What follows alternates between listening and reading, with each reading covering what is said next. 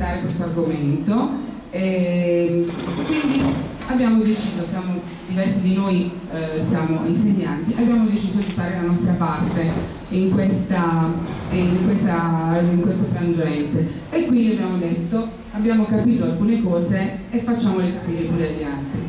Allora, intanto, giusto per, eh, per, avere, per fare il punto della situazione, questo signore Enzo Prosperi ha 61 anni ed è un ex imprenditore che fa il barbone in giacca e cravatta nella piazza di, eh, eh, nella piazza del Duomo di Milano. Qui ci sono il numero delle aziende che sono, sono, state chiuse negli ultimi anni, quindi 12.000 eh, aziende, più di 1.000 aziende al mese, aspetta un attimo, eh, nel 2013 si sono stati chiusi 13.750 eh, esercizi commerciali e turistici, abbiamo un suicidio ogni due giorni e mezzo perché la crisi uccide molti imprenditori.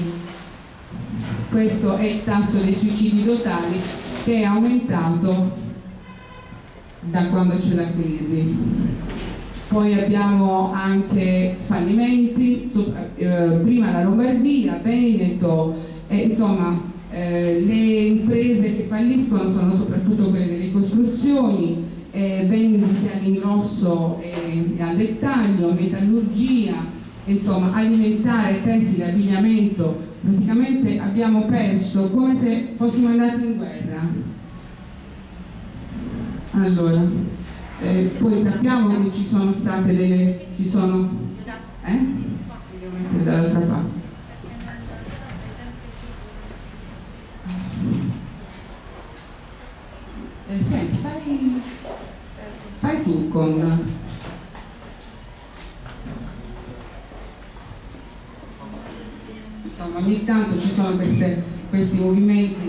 di massa eh, e la gente prende le botte. Allora, questo è il passaggio fondamentale.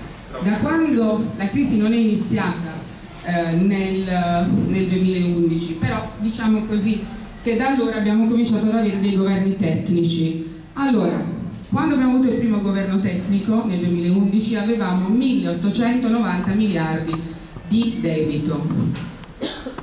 Nel 2012 sono diventati 2014, poi sono diventati 2076. Il 20 marzo mi sono collegata con un sito dove ci sono i conteggi della crisi. Noi siamo al 20 marzo, due giorni fa, 2.115 miliardi. Quindi nonostante i tagli, nonostante la vendita del patrimonio pubblico, eh, nonostante adesso ci saranno ancora ulteriori tagli, eh, il debito non solo non diminuisce ma aumenta.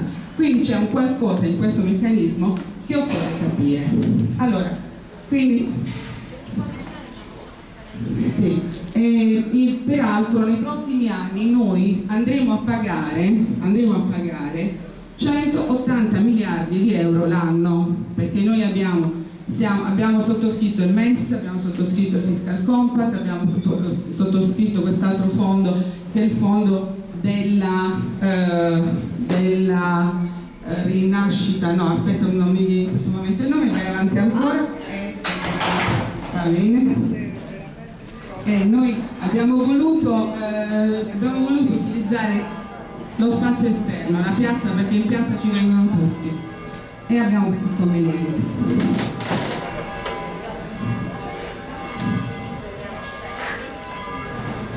Inoltre dovremo pagare, guardate un po' gli interessi sul debito che pagheremo fino al 2015, noi nel 2015 pagheremo 105 miliardi di euro di interessi.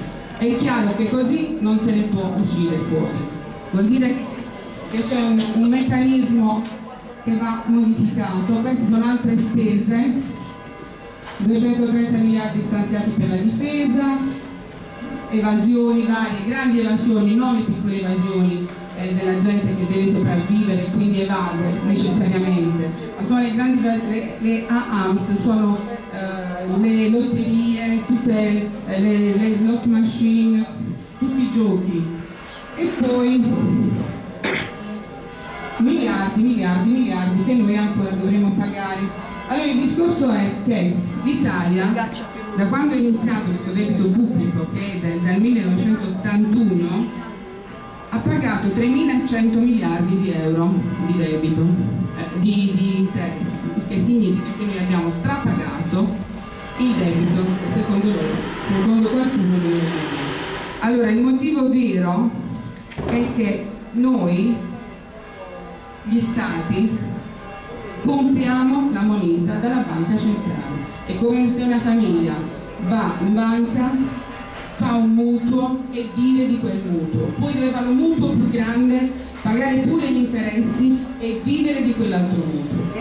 Invece, con una moneta, quando lo Stato emette la sua moneta, la, lo Stato non si indebita, a meno che non si indebiti con i cittadini stessi, come quando avevamo il bot e noi ci facevamo i nostri risparmi con il bot. Allora, io chiudo e do la, do la parola, adesso vi presento i relatori, lei la dottoressa anzi mi presenti Sì, io sono Angela Carolina Pantaleo, sono un medico e una scrittrice per chi non mi conosce. E, ehm, questo è un argomento che io seguo da tantissimi anni. Eh, non per un caso uno dei romanzi che sto scrivendo è proprio sulla contaminazione d'alluminio eh, del, dei terreni sui quali poi facciamo pascolare i nostri animali.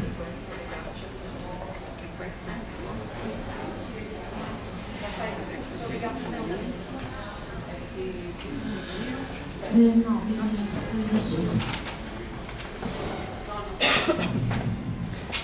Eh, vi chiedo scusa se qualche slide è in inglese, ma noi sempre, noi prendiamo dal, dall'estero sempre il peggio velocemente e quello che c'è di buono con estremo ritardo. Comunque le traduco io di volta in volta. Ippocrate diceva che noi siamo il, la, il, il cibo è la nostra medicina e la medicina è il nostro cibo. Oggigiorno tutto il 95% delle malattie è legato appunto alle scelte alimentari che facciamo.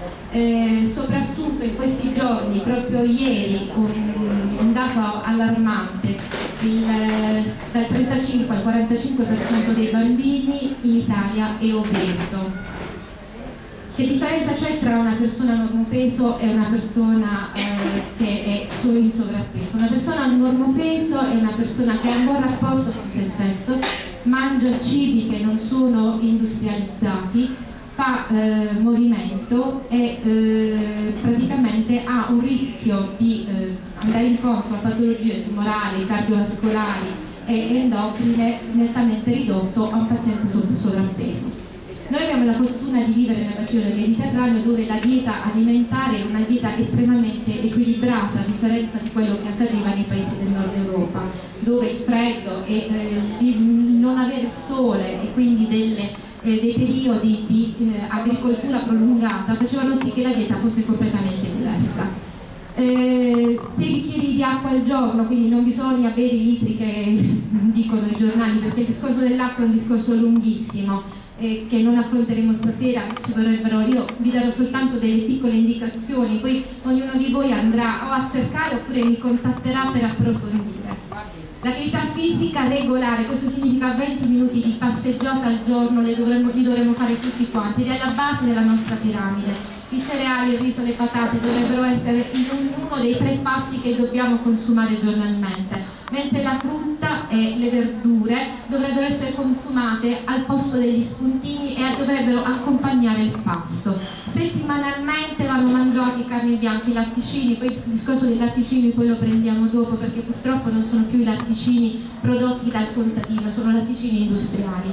Eh, il pesce, questi van, le uova vanno mangiate una volta alla settimana, perché noi nei legumi abbiamo l'apporto che è sufficiente per il nostro organismo. Noi siamo iperalimentati, non c'è necessità di mangiare tanto quanto mangiamo. E la carne va utilizzata, la carne rossa, e quindi intendo carne bovina, carne ovina, carne suina, va utilizzata soltanto eh, raramente. quindi per esempio la Coca-Cola, gli snack che noi proponiamo ai nostri ragazzi eh, nei momenti di, di, di, di pausa eh, come merendina sono veramente da destinare a un uso eh, occasionale. Quindi siamo quello che mangiamo, purtroppo andiamo incontro, questo è ironico, ma eh, purtroppo è così. Perché c'è questa abitudine di mangiare più eh, snack pronti eh, a alto indice sia glicemico che di grassi? Ma perché purtroppo l'industria ci porta là dove vuole condurci, di conseguenza un uh, cheeseburger è una bevanda gasata eh, prodotta con l'esubero di quanto si produce con il mais, poi ci torneremo, costa molto di più un'acqua, per esempio, non di quelle acide che beviamo tutti i giorni noi, ma un'acqua tipo quelle che utilizziamo e compriamo dalla farmacia quando ma stiamo male, che sono acque basiche, che purtroppo hanno determinati costi, perché non sono, sono acque che veramente hanno delle caratteristiche. Un'insalata costa 600 euro, per cui è chiaro che anche dal punto di vista economico è più facile mangiare un hamburger piuttosto che chiedere di mangiare un'insalata. Quindi noi tutti quanti siamo condizionati dal mercato, il mercato che fa di noi semplicemente dei numeri, il codice a barre, no? come se fossimo dei prodotti da vendere e utilizzare. I bambini sono le prime vittime di questo mercato assassino perché loro sono i primi fruitori di quanto viene deciso. E il modello che noi abbiamo è un modello devastante. Eh, in, questo, in, questa immagine è, è, è chiaro quello che viene trasmesso ai bambini tutta la famiglia davanti alla televisione, telecomando in mano, patatine, gommose, bevande gassate. Peppa Pig che in questo momento impazza, che cosa beve? Beve bollicine, beve sicuramente cibi eh, congelati, la pizza congelata, insomma un cult in America, e poi eh, le verdure e i pomodori presenti tutto l'anno. Um, in questo la scritta in giallo dice che queste compagnie non eh, applicano l'etichetta di OGM. Che cosa vuole dire? Che quando noi la mattina diamo ai nostri bambini il latte con i cereali, siamo convinti di aver fatto un grande atto di, eh, salutistico, insomma. E invece la Kellogg's è eh, un, direttamente legata a eh, quelli che detengono il potere sia in campo, e poi vi parlerà eh, uno, un relatore che mi seguirà, se voi vedete c'è la Bayer, c'è la Dupont, c'è la Singenta. La Singenta è un'azienda azienda in Svizzera che si occupa sia di agribusiness che eh, di farmaceutico. Allora, com'è possibile che un'azienda che produce industrialmente dei prodotti alimentari, che regola l'attività eh, dell'agricoltura, sia poi interessata a produrre farmaci?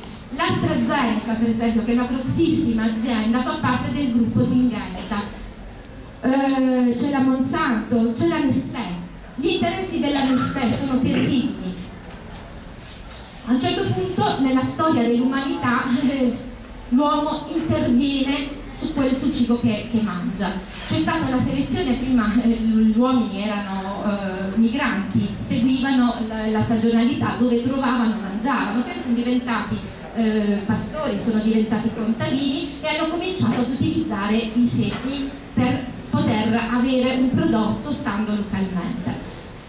Da pochissimi anni, perché si tratta più o meno dalla metà del, eh, del secolo scorso, professore se non sbaglio, eh, l'uomo decide di intervenire su quello che si mangia, anche se diciamo che l'eugenetica è anche precedente una delle aberrazioni più terribili. I pediatri, io sono un medico, io mi sono eh, dissociata già durante la, il corso di laurea, dopo con le specializzazioni è stato proprio un gap terribile tra me e chi mi indottrinava, perché di indottrinazione si deve parlare. Il, il lattante va da 0 a 6 anni, dopo il latte l'adulto non lo dovrebbe toccare perché non ne ha assolutamente necessità il bambino andrebbe svezzato oltre l'anno di età, invece c'è questa cosa allo svezzamento. Le mamme devono andare a lavorare perché se no non sono emancipate, invece devono stare a casa ad allattare i bambini, perché quella porcheria del latte che danno, il latte artificiale, contiene rame solfato, è lo stesso rame solfato che viene spruzzato sulle viti per evitare che vengano parassitate. Cioè voi il vostro bambino lo spruzzereste col rame solfato? No. E allora perché viene dato qui nel, nel latte in polvere? Perché questa è la, è la verità e soprattutto lo svezzamento precoce a 5 mesi, 6 mesi, la parete intestinale di un bambino non è pronta ad essere presentata e a avere presentazione di allergeni, di sostanze che non fanno parte del, dell'intestino del bambino. Questo perché? Perché purtroppo chi ci governa ha delle fonti di reddito che sono assolute e che sono appunto il petrolchimico, l'energia, la sanità e l'alimentazione.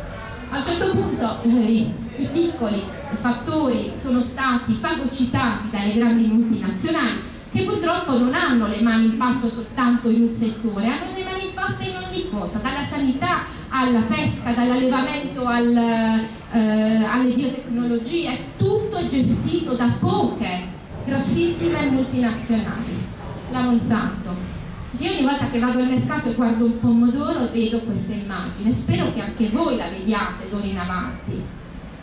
Quando io pianto le mie piantine di lattuga nel mio orto personale, non ho necessità di guardarmi in questa maniera, non metto neanche i guanti perché a me la terra piace, mi piace sporcarmi di terra, non c'è necessità di doversi proteggere. D'altra parte, perché dovete mangiare una pesca che è stata innaffiata in questa maniera? Voi vorreste essere innaffiati insieme alla pesca? Credo proprio di no. E questo è quello invece che accade ogni giorno, per avere questo prodotto che è bello, bellissimo, non ammuffisce, sta nel frigorifero per 10-20 giorni, che comodità, facciamo la spesa una volta al mese, e invece mangiamo soltanto de delle sostanze che non sono previste nel nostro organismo. Allora, antiparassitari, fitofarmaci, ormai c'è tanta confusione, quello che comanda tutto quanto è il biodanaro. In questi giorni c'è la diatriba, io non sono un agronomo, quindi non sono molto informato sul come e perché, so soltanto che qualcuno vuole che anche in Europa, così come è successo in altri granai importanti, ci sia, eh, sia controllato dall'OGM, il mais sia OGM, giusto? Ne parlerà dopo lei. L'agente Orange. Allora, questa è, eh, io credo, una delle, delle eh, cose più oscure. Il, la soia eh, geneticamente modificata per crescere ha necessità che venga eh, utilizzato questo antiparassitario, che è quello che veniva prodotto eh, dalla Monsanto durante la guerra del Vietnam per esfoliare gli alberi, venivano spruzzati Dopodiché passavano i signori della Dupont o della Dow, non ricordo l'azienda, e sparavano il napalm. Quindi voglio dire, queste persone che hanno prodotto queste porcherie con le quali hanno ammazzato i poveri vietnamiti, ma hanno anche ammazzato gli stessi eh, americani, soldati giovani americani che andavano a combattere lì, sono quelli che producono anche il prodotto geneticamente modificato. Questa è un'aberrazione, è una cosa terribile. Quindi la gente non deve sapere, ma soprattutto è importante che non si chieda di non sapere. Monsanto, Pioneer Bread, Dow, AgroScience, questi sono la Syngenta e la DuPont sono le maggiori aziende implicate in questo genocidio, perché di genocidio si tratta. Eh, ho voluto mettere questa immagine, io sono un medico, alcuni anni fa ci ho veramente creduto, ho creduto che fosse veramente la chiave di volta, la svolta per aiutare i popoli che non hanno da mangiare, che hanno problemi di salute. Questa patata, hanno preso una patata e praticamente l'hanno trattata con un batterio nel quale era stato innestato una, una parte del, del virus dell'epatite B. E quindi questa patata funge da vaccino, loro la mangiano e sono automaticamente vaccinati per, la, per l'epatite B.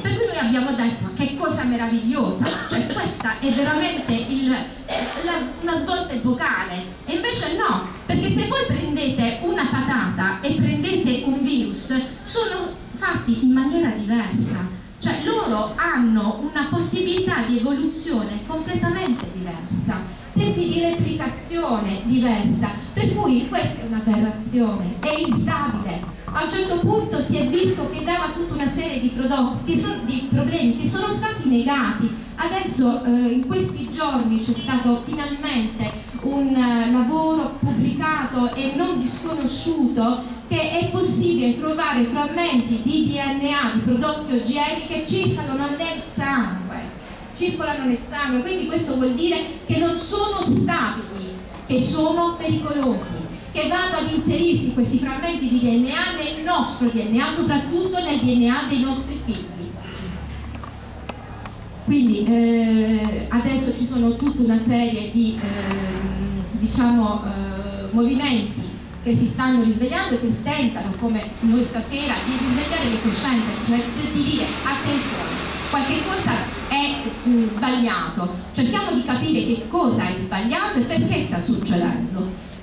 Alcuni anni fa il professor Arpad Pustai, eh, 36 anni che lavorava in Irlanda in un laboratorio, un uomo molto stimato, eh, era stato ehm, il governo aveva chiesto che facesse in doppio cieco, in doppio cieco significa che loro i risultati finali non li sapevano e non sapevano se la linea di cave che stavano eh, utilizzando era quella OGM oppure quella eh, nutrita con patate normali. Alla fine di questo esperimento si sono resi conto, conto che i topi nutriti con patata normale avevano una crescita normale, i topi nutriti invece con patata OGM presentavano una ipoevoluzione, erano nettamente sottopeso rispetto a quelli che erano stati alimentati normalmente, presentavano malformazioni, fratture spontanee ossee. Inutile dire che lui è stato boicottato da tutta la comunità scientifica, è stato allontanato, non ha potuto ripetere gli esperimenti ed è stato proprio il governo che è intervenuto, ma non il governo irlandese, il governo americano lui da quel momento sta facendo una campagna per promuovere i suoi lavori e lui è stato un antesignano, dopo di lui tante persone hanno cominciato. 1959, eh, io mi scuso se vado di corsa, perché sono tante le cose da dire. 1959 certo. l'Argentina diventa il primo laboratorio a cielo aperto senza che né il popolo né nessuno sapesse che quello che stavano trasformando, cioè una economia agricola mh, bilanciata, che era, eh, c'erano cereali, c'erano allevamento, eh, allevamenti, viene trasformato in un immenso laboratorio di soia OGM. Cordova è sempre in Argentina, quest'anno la Monsanto è stata cacciata. È stata cacciata perché eh, le falde acquifere sono state contaminate, bambini, le vacche sono state le prime che sono eh, l'indice di abortività delle vacche era diventato così alto che qualcuno si è chiesto ma che sta succedendo e quindi hanno cominciato a rendersi conto che non erano soltanto le vacche erano anche le donne che abortivano, avevano figli malformati, bambini che nascevano eh, prematuramente o che prematuramente andavano incontro a numerosissime patologie tumorali quest'anno la Monsanto è fuori dall'Argentina. Che cosa succede? E qualche anno fa l'Iraq, l'Iraq, per chi conosce la storia sa cosa è successo, è stata distrutta l'economia agricola dell'Iraq perché hanno obbligato i eh, contadini a comprare i semi di alcune aziende. Adesso c'è l'Ucraina perché bisogna trovare nuovi terreni da coltivare movimenti appunto come quello di Vandana Shiva che dice che non è creare la, la, la vita, eh, fare l'OGM, è distruggerla. Roundup credo che poi il professore ce ne parlerà. Questa è molto carina, cioè la, la strega non ha più bisogno di, eh, di dover avvelenare la, la mela, dice questa non è una mela normale, è una mela geneticamente modificata che non diventa mai marrone. Prendine un pochino. Eh, I primi animali che risentono delle alterazioni dell'habitat sono eh, i menotteri e anfibi. Nel momento in cui eh, scompaiono le api, scompaiono le vespe, scompaiono le rane o presentano delle modificazioni, vuol dire che c'è qualcosa di molto grave nell'habitat. Loro sono il, la, diciamo, la prima cartina di tornasole. Diceva Einstein che eh, nel momento in cui le eh, api dovessero scomparire, l'uomo avrebbe soltanto 4 anni di vita. Perché tutto questo? Le, eh, per esempio il problema della carne è un problema gravissimo. Una, car- una, una mucca mangia 16 volte quello che mangerebbe un uomo con lo, stesso quantitativo di vegetali che darebbero lo stesso apporto energetico e questa è la vera cosa drammatica, cioè eh, mangerebbero comodamente tre persone eh, a differenza di una che è quella mh, che invece mangia dall'apporto della carne. Non ci dovrebbe essere la, eh, la, fame nel mondo ancora, non ci dovrebbero essere persone che non hanno da mangiare, perché c'è un surplus alimentare, vegetale pazzesco che sarebbe sufficiente a sfamare non per una generazione, ma per chissà quante generazioni. Questo è un ulteriore olocausto quello che stiamo vivendo vi devo leggere questa, questa, cosa. Alcune persone attaccano la mia famiglia per via dell'eccessiva influenza che si dice eserciteremmo nella vita politica americana e nelle istituzioni economiche. Alcuni addirittura ritengono che noi siamo parte di un oscuro progetto che cospirerebbe insieme ad altre persone nel mondo per creare una struttura politica ed economica maggiormente integrata, globale se vogliamo. Se questa è l'accusa che ci viene mossa, lasciatemi dire che mi dichiaro colpevole e che ne sono anche orgoglioso. David Rockefeller. Forse ci sarà tempo e modo poi di parlare in altre occasioni di questi problemi. Kissinger con Aldo Moro. Aldo Moro si era opposto tenacemente a uh, tutta una serie di, di, introduzioni e allargamenti nel campo dell'agricoltura e uh, Kissinger lo minacciò di morte. Kissinger ha avuto il Nobel per la pace, Moro è morto, questo si commenta da sé. La nazione che distrugge il suo suolo è una nazione che distrugge se stessa e questa è l'evoluzione verso una cieca accettazione. La gente è alimentata dall'industria alimentare che non si interessa della salute ed è curata dall'industria farmaceutica che non si interessa dell'industria alimentare. Chi non ha tempo per eh, mangiare sano poi dovrà trovare tempo per curarsi invece. La Food and Drug Administration è eh, quella che regola a livello americano, severissima, ma severissima fino a un certo punto perché se andiamo a vedere poi l'organigramma di chi sta nella, nella Food and Drug Administration troviamo le stesse persone che poi avevano fatto l'amministratore delegato, il presidente delle petrolchimiche, di tutte quelle aziende che contaminano per cui è, è, possibile utilizzare mercuriali, è possibile eh, utilizzare bifenoli, è possibile utilizzare l'IGM, ma non è possibile, non è legale, è possibile essere perseguiti se si beve il latte di musca appena munto e questo dà il senso in che condizioni viviamo. Eh, non, da pochissimo c'è stata la storia del, dell'ILVA, no? E come è successo? Come si è scoperto che le cozze avevano la diossina? Semplicemente perché una pediatra molto attenta è andata a, uh, ha portato delle, a, si è reso conto che i bambini avevano più o meno tutte quante le stesse patologie, per lo più gastrointestinali. E allora si è detta, non mangiano le cozze, non mangiano questo, che cosa sarà? ha chiesto un poco il cacio ricotta locale che veniva prodotto localmente. Hanno mandato da Pignatelli alle cioè due forme di questo cacio ricotta e si sono resi conto che la concentrazione di diossina era 11 volte quella legale. Perché queste eh, pecore pesco pascolavano insomma, nei, nei dintorni di Taranto. Velocemente non si può parlare di tutte le porcherie che noi mangiamo, ho scelto giusto qualche molecola proprio perché eh, come riferimento. L'aspartame. L'aspartame è eh, uno zucchero eh, sintetico, noi lo troviamo nei cereali dei bambini, nelle bevande eh, dolcificate, nella Coca-Cola, nel chewing gum, nelle caramelle, cioè dare questi ai bambini è veramente follia la, la, diet coke. La diet coke non dovrebbe assolutamente essere data ai bambini perché già nell'adulto dà tutta una serie di problemi, attacchi di panico, eh, sensazioni allucinatorie. Pensate che nei topi allevati con aspartame eh, si, ci sono morie per patologie cardiovascolari, ictus, infarto e crisi epilettiche Noi mangiamo, la carne che mangiamo è interamente eh, contaminata da antibiotici.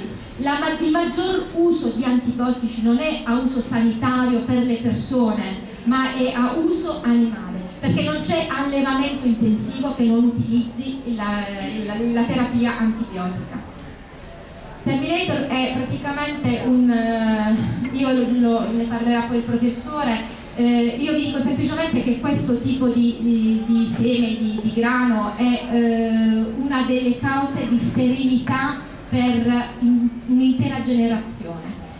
Dato che questo seme non si riproduce, interagisce, c'è un cross-linking con gli spermatogoni dei maschi, tant'è vero che la fertilità è bassissima nei ragazzi che vanno dai 25 ai 45 anni, c'è un'intera generazione che non riesce a riprodursi perché i maschi sono sterili. Il grosso problema della carne data alle bambine eh, il telarca, che cos'è? Una precoce comparsa delle mammelle in assenza di pubertà, bambine di 6, 7, 8 anni che presentano già l'abbozzo la, della ghiandola mammaria e che non possono più toccare un po' di carne. E, e per quale motivo? Ah, questo è interessante velocemente l'uso dell'olio, perché dobbiamo utilizzare l'olio? Perché l'olio contiene il 70%, l'80% di acido oleico che è lo stesso componente prevalente del nostro grasso, per questo è come se noi prendessimo un grasso affine al nostro stesso grasso, a differenza di quello che succede per gli altri oli di semi. Lo sciroppo di glucosio. Eh, lo sciroppo di glucosio viene utilizzato in ogni cosa che viene dolcificata che proviene dall'industria alimentare. Lo sciroppo di glucosio è praticamente un sistema per smerciare il mais in eccesso, ma eh, lo sciroppo di glucosio viene immediatamente trasformato in fruttosio che ha un grossissimo difetto. Non dice mai all'organismo sono sazio sono sazio, per cui io non continuo a mangiare all'infinito perché l'informazione sono sazio non arriva mai al cervello ed è la ragione della nostra obesità, perché non esiste una merendina, un biscotto, un gelato, una caramella che non contenga questo sciroppo di glucosio. La Francia ha tassato la Coca-Cola e le altre bevande zuccherate, in realtà, in realtà andrebbero tassate e in proporzione tutte le eh, sostanze che contengono zuccheri aggiunti e il discorso è lunghissimo. La margarina, la margarina è stata spacciata come salvacuore e invece non è vero perché eh, noi eh, abbiamo l'olio di oliva che è un grasso polinsaturo, invece questi sono grassi saturi, a parte il fatto che la maggior parte degli oli di semi sono, uh, sono prodotti per via estrattiva utilizzando degli acidi la cui presenza è poi riscontrabile anche nel, nell'olio stesso l'alluminio e il morbo di Alzheimer. Eh, non se ne parla, è recentissima questa scoperta. Il basic SALP, il basic sodium aluminium fosfato, è responsabile dell'altissimo livello di alluminio presente nel, nel cervello e nel sangue delle persone affette da Alzheimer. Da dove l'hanno preso? Si riteneva prima che fosse l'acqua il maggiore veicolo, non è vero, sono i latticini perché per rendere la pasta morbida, per non farla colare, per non farla eh, sfibrare, per far sì che le fette di formaggio siano belle belle, perché non si devono sbriciolare, perché il formaggino sia spalmabile, perché la sottiletta sia fondibile, noi mangiamo porcherie, cioè prendiamo l'alluminio che ci macera il cervello. Questa, vedete l'immagine centrale del cervello con Alzheimer avanzato, è corroso, è eh, disidratato, perché quello è il problema. Il problema di un cervello con Alzheimer, voi quando vedete una TAC, vedete praticamente che è un guscio, il nostro cranio vuoto. E gli endocrini disruptor sono praticamente delle sostanze che si comportano come se fossero dei mm, messaggeri i nostri ormoni cosa sono? Sono dei messaggeri. Noi li prendiamo dal cibo questi messaggeri che sono dei messaggeri fraudolenti. Come è fraudolenta, è terribilmente fraudolenta il, eh, la pubblicità delle donne in menopausa che devono prendere la solla. Questo è un messaggero fraudolento. Noi non sappiamo cosa, cosa dice all'organismo la soia perché la soia contiene appunto questi messaggeri fraudolenti che funzionano come ormoni, ma noi non sappiamo quale messaggio ormonale loro portano, perché non c'è un organo di riferimento per il quale sono stati prodotti. Eh, io credo di dover dare spazio al, agli altri colleghi. Comunque c'è ancora. Noi ringraziamo la dottoressa eh,